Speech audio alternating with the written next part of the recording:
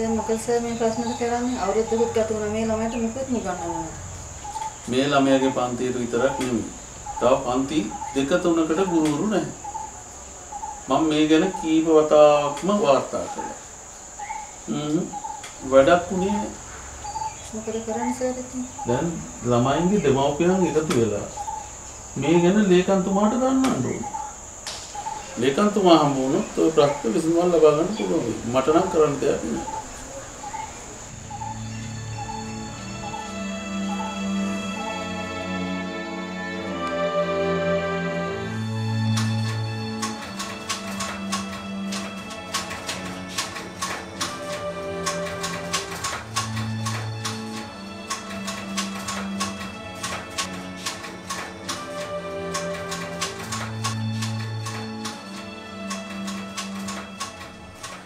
ඒකට ඉතින් මට කරන්න දෙයක් නැහැ. මං කෝකටත් තව එකපාරක් කැමතිමාට කියලා බලන්න.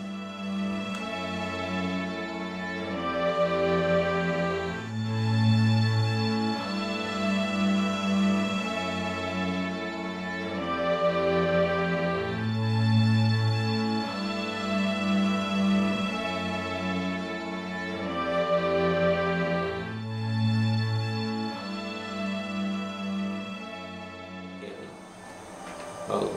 හරි.